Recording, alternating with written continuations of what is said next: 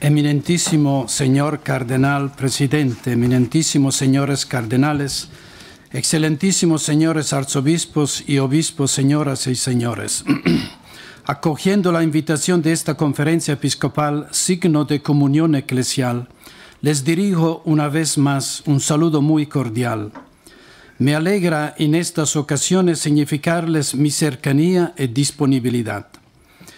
En estos momentos deseo hacerme eco de la palabra y de los deseos del Santo Padre en relación a dos importantes y delicados temas a tratar. En primer lugar, la reforma de los estatutos de la conferencia episcopal. El pasado 27 de mayo el Papa se dirigía a la conferencia episcopal italiana en la apertura de la asamblea plenaria, invitando al episcopado con estas palabras rezad por mí, llamado a ser custodio, testigo y garante de la fe y de la unidad de toda la Iglesia. Con vosotros y por vosotros pueda cumplir esta misión con alegría hasta el fondo. Con vosotros y por vosotros, dice el Papa. La indicación teológica es clara. Es la cabeza del colegio episcopal con vosotros, pero es el sucesor de Pedro, por vosotros. Es en el colegio episcopal donde reside la sucesión apostólica. Queda salvo el obispo particular. Los obispos de una determinada conferencia episcopal ejercen un oficio a nivel personal, resultando un acto colectivo, cada uno con su propia responsabilidad. Así, a través de las conferencias episcopales nacidas de un interés pastoral práctico e inmediato, se vive el afecto colegial, como dice la Constitución Lumen Gentium.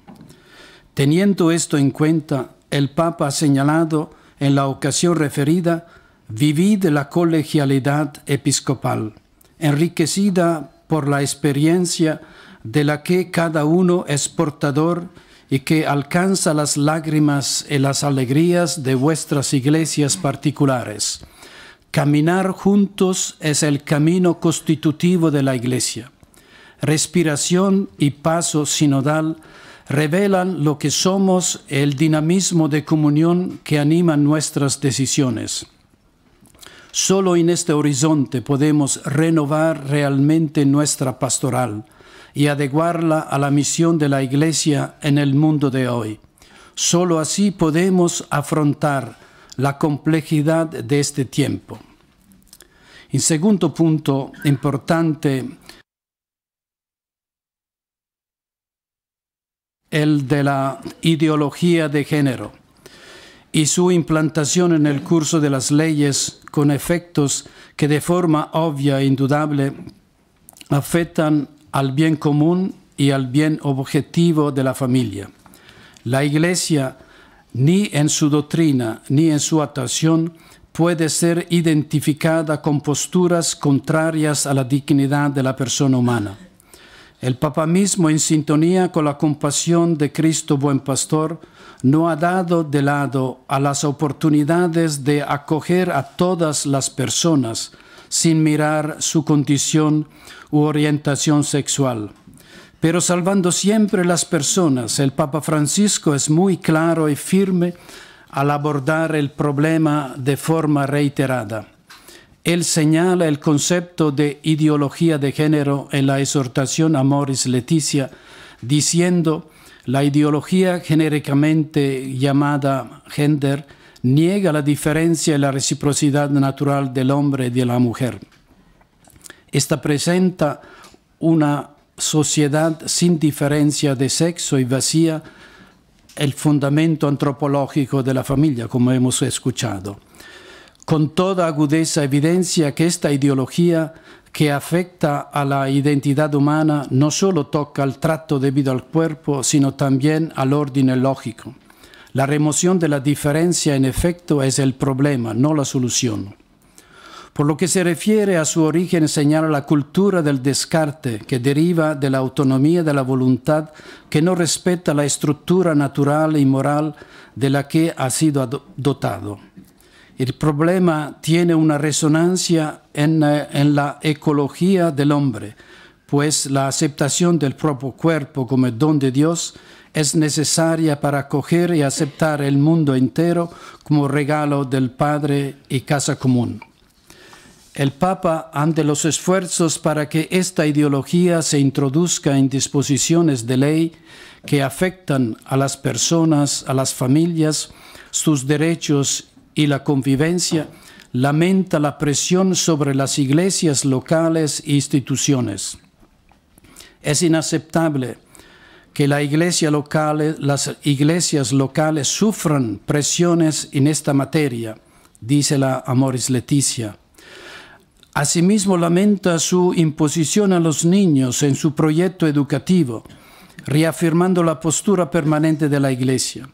A los delegados de las 33 conferencias episcopales de Europa el pasado 2014 les señalaba, los padres son los primeros y principales educadores de los que tienen el derecho de educarlos conforme a sus convicciones morales y religiosas. Citando a su antecesor Benedicto XVI, el Papa Francisco sintetiza esta cuestión con estas palabras. Es la época del pecado contra Dios Creador. Por último, y permítame que insista, lo suelo hacer de forma reiterada en la mutua colaboración, en la unidad. Es algo que importa mucho tener en cuenta. Como dice San Pablo, llevad los unos los cargos de los otros y así cumpliréis la ley de Cristo. Ser pacientes, tratarse como hermanos, ser coherentes con las decisiones tomadas en común. Esto exige tener actitudes concretas de respeto recíproco, superando posturas egoístas o perjuicios y dominando absolutamente cualquier fermento de división y todo escándalo. Esta actitud, si se cuida, no deja de trascender también en el bien de los fieles, y de la sociedad española en general, contribuyendo a sanar la vida social, edificándola en la verdad y en la benevolencia.